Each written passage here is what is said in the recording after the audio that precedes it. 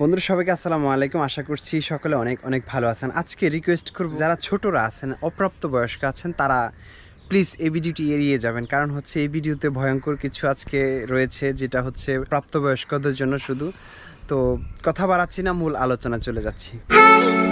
বন্ধুরা, মূল আলোচনা যাওয়ার আগে একটা রিকোয়েস্ট করব, যারা আমাদের এই চ্যানেলটি এখনও সাবস্ক্রাইব করেন দয়া করে চ্যানেলটি সাবস্ক্রাইব করে পাশে থাকা বেল বাটনটি বাজিয়ে দিবেন। গুরুত্বপূর্ণ ব্যাপারটা শেয়ার করি আপনাদেরকে। যেই ব্যাপারটা নিয়ে কেউ কথা বলে না আজও পর্যন্ত, সেটা হচ্ছে যে পরিমণির বাসায় একটা খাট ছিল, আপনারা জানেন যে যেই খাটের মধ্যে আপনাদেরকে দেখাচ্ছি মানে চারপাশে চারটা রশি ছিল। এই রশির রহস্য কি, কেউ কি জানেন? এই রশির রহস্য কি সেই রশির রহস্য? তারপর এই বিছানার মধ্যে কিছু জিনিস পাওয়া গেছিল, আপনাদেরকে দেখাচ্ছি। এই জিনিসগুলো কি? এই জিনিসগুলো সম্পর্কে কি কেউ জানেন? কেউ হয়তো জানেন না, আর সোশ্যাল মিডিয়া সব কিছু আসলে প্রকাশ করে বলাও হয় না। আসলে অনেক কিছু আছে গাইডলাইনের বাইরে চলে যায় অনেক ভাষা ইউজ করা যায় না। অনেক ভাষা ইউজ করলে ইউটিউব সেগুলো আসলে সাপোর্ট করে না। তো যাই হোক, এই রশির উদ্দেশ্য আর এই পরিমণির এই খাটের মধ্যে এসব কিছু ব্যতিক্রম কিছু জিনিস এই সম্পর্কে আলোচনা করব। আশা করছি সম্পূর্ণ দেখে যাবেন। তো প্রথমে আমি বলে রাখি যে পরিমণি চামড়ার ব্যবসার পাশাপাশি মূলত আসলে সে নীল ছবি করত। নীল ছবি কি আসলে? নীল ছবি অনেকেই বুঝবে না, হয়তো আমি একটু ইংলিশে বলি। Blue film. ব্লু ফিল্ম এটা হচ্ছে অনেক আগের ভাষা, হয়তো অনেকে চিনেন। একটা সময় এটা খুব সচরাচর ব্যবহার হতো তো সে চামড়া ব্যবসার সাথে সাথে এই নীল ছবির মানে তারকা ছিলেন এবং কি সে নীল ছবি বানাইতেন। কাকে দিয়ে বানাইতেন, নিজে বানাইতেন? তাহলে এই নিজে যদি বানায়, তাহলে পরিমণির চেহারা কোথায়? চেহারা তো দেখি না। ভাই, নীল ছবির মাঝে ওর চেহারাটা মানে চেহারা চেঞ্জ করে নেওয়া হতো। এমন কিছু চেহারা লাগানো হতো যেগুলো আসলে চেনা যেত না। ধরেন আপনি আপনি পরিমণি, আপনার বিদেশি কোনো একটা নায়িকার ফেস আপনি লাগায় রাখলেন। আরেকটা ব্যাপার হচ্ছে যে, এই নীল ছবিগুলো কোথায় বিক্রি হতো? তা আমরা আসলে এই বিষয়গুলো জানি যে, আমরা এই গুগল থেকে বা ইউটিউব থেকে আমরা এই সাইটগুলো খুঁজে পাই না কেউ, এগুলো দেখতে পাই না। তো এগুলো ব্যতিক্রম সাইট আছে যে সাইটগুলোতে এগুলো বিক্রি করা হতো। তো এখন কথা হচ্ছে আসলে এগুলা বিক্রি করে কেমন টাকা পেত? এগুলা বিক্রি করে আসলে প্রচুর টাকা পাইতো, যেই টাকা পাইতো সে চামড়া ব্যবসা করে, তার চেয়ে এদিক থেকে মোটামুটি ভালো একটা অঙ্ক দাঁড়াইতো।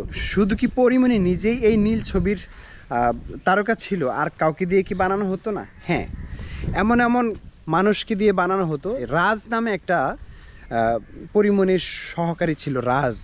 সে রাজ কি করতো? মানে নিয়ে যেত, বিভিন্ন দেশে নিয়ে যেত, পরিমণিকে দুবাই, লন্ডন হ্যাঁ কাতার, বিভিন্ন জায়গায় নিয়ে যেত।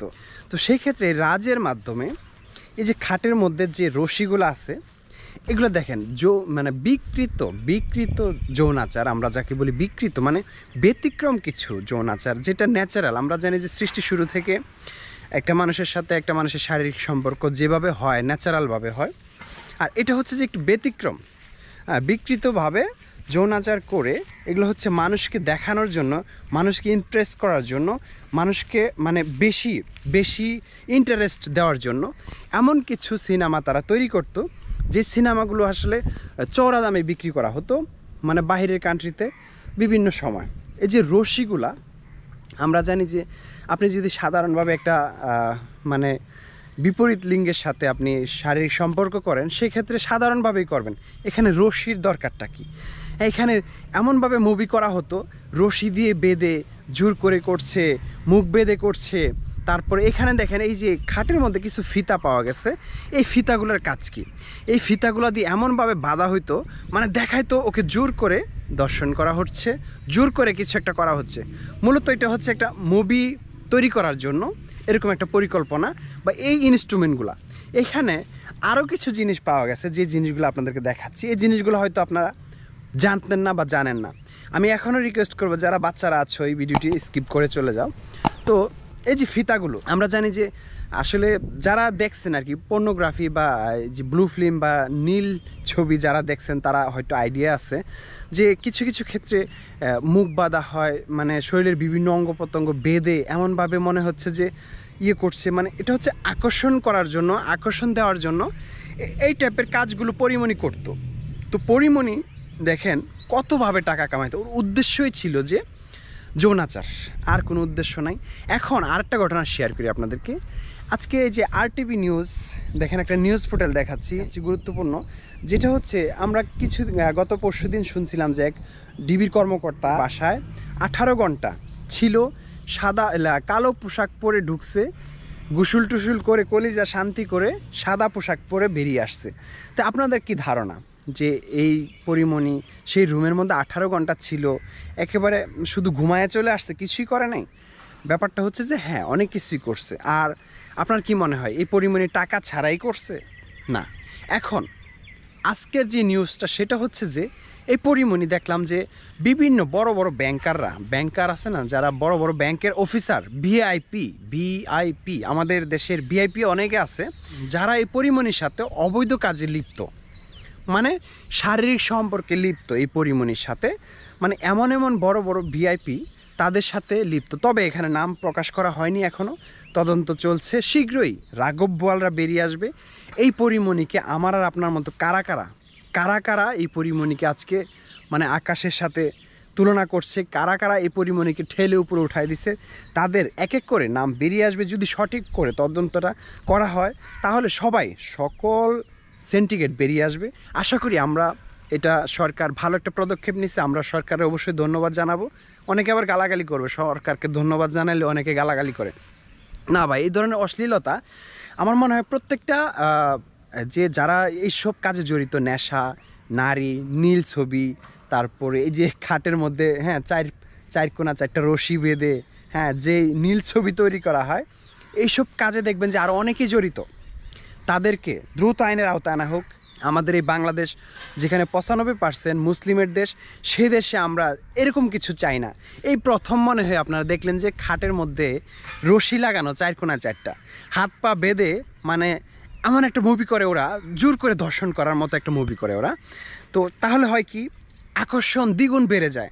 উফ মানে আমার আপনার মতো কিছু মানুষ আছে যারা পণ্য আসক্ত হয়ে গেছি, পর্নোগ্রাফি দেখি।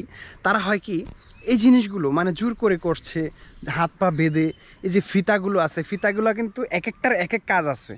এখানে সবগুলা কাজের মানে সবগুলা ফিতার কি কাজ আমি এক একটা ভেঙে ভেঙে বুঝাইতে গেলে অনেক সময় লেগে যাবে। যাই হোক, এই বিষয়গুলো নিয়ে কেউ এত খোলামেলা কথা বলে নাই। আমি যতটা খোলামেলা কথা বললাম। তো যাই হোক, অনেক কিছু আপনাদের খারাপ লাগতে পারে, তবে একটা ঘটনা শেয়ার করি। মানে বিকৃত যৌনাচার, অনেকে আছে বিকৃত মানে কি বা একটু ব্যতিক্রম কিছু পছন্দ করে। আপনারা দেখবেন যে অনেকে মেয়ে পাগল না, ছেলে পাগল। মানে ছেলে হয়ে ছেলের প্রতি আকর্ষণ। আবার দেখবেন যে একটা মেয়ে মেয়ে হয়ে মেয়ের প্রতি আকর্ষণ। আবার দেখবেন যে আপনারা কিছুদিন আগে শুনছেন হয়তো মর্গে মানে মৃত মানুষ যেখানে রাখা হয়, মর্গের মধ্যে সে সুন্দরী মেয়েদেরকে মানে শারীরিক সম্পর্ক করে। আরে ভাই, একটা মানুষ যখন মরে যায়, আমরা সেই রুমের মধ্যে মানে ঢুকতেও আনিজে লাগে, সপ্তাহ দশ দিন, চল্লিশ দিন যে এই রুমটার মধ্যে সে মারা গেছে। আর সেই মৃত ব্যক্তির সাথে কীভাবে শারীরিক সম্পর্ক করে আমার বোধগম্য নয়।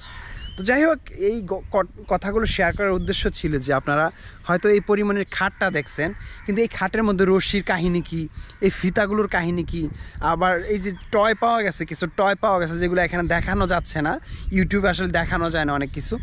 এগুলোর উদ্দেশ্য কি? এই ঘটনাটা হয়তো আপনারা জানেন না এই জন্য ক্লিয়ার করলাম। তো ভিডিওটি ভালো লাগলে অবশ্য- অবশ্যই শেয়ার করবেন। আর যারা এখনও চ্যানেলটি সাবস্ক্রাইব করেন সাবস্ক্রাইব করে রাখবেন। সবাইকে আসসালামু আলাইকুম রহমতুল্লাহি আবার কাতুহু